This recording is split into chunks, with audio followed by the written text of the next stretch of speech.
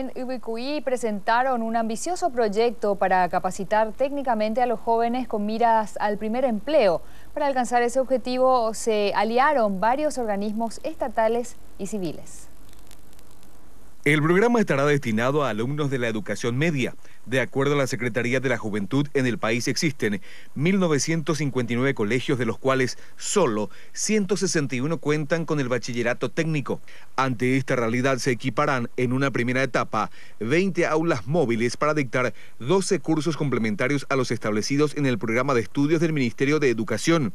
La intención es contar entre 1.000 a 1.300 aulas móviles para llegar a la mayoría de las instituciones. Sin embargo, no existen recursos, por lo que en términos futbolísticos pidieron el dinero a los directores de Itaipú y Yacyretá. Pero necesitamos que usted meta el gol y que nuestros creadores, los números 10, que son el señor Spalding y el señor Esmalco, nos puedan dar la posibilidad de poder ganar este partido al comenzar el primer tiempo.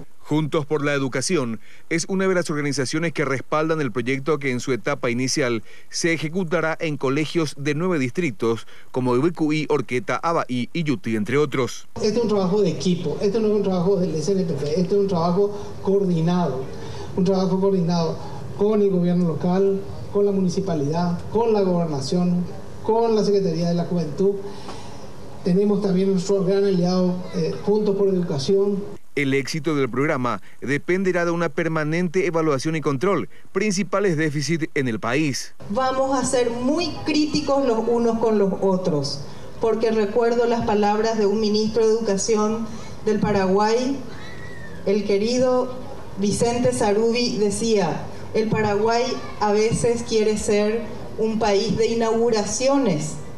Hace la inauguración y después deja la obra en el camino, no evalúa y no aprende de la experiencia.